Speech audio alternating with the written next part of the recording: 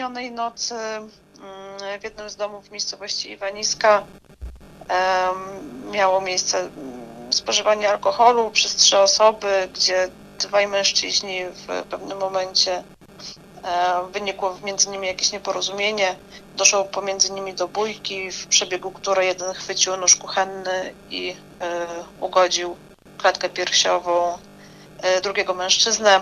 E, Pomimo przewiezienia e, do szpitala i podjęcia czynności medycznych e, życie tego mężczyzny nie udało się uratować.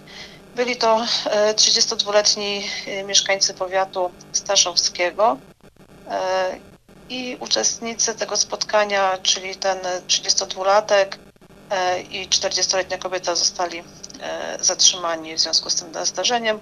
Wszyscy byli nietrzeźwi. E, Po wytrzeźwieniu e, będą z nimi e, prowadzone czynności procesowe, natomiast na miejscu zdarzenia czynności już się zakończyły i dzisiaj dalsze działania będą prowadzone w tym temacie.